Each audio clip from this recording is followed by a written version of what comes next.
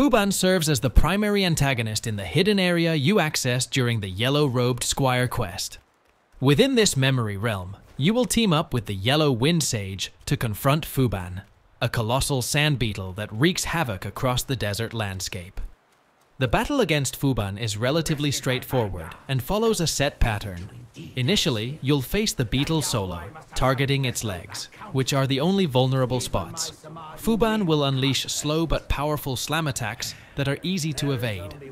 As the fight progresses, you can climb onto Fuban's back to destroy the vessel it carries, allowing the Yellow Wind Sage to join forces with you, leading to a swift defeat of Fuban. Don't forget to like, comment, and subscribe for more content on Black Myth Wukong and other exciting games.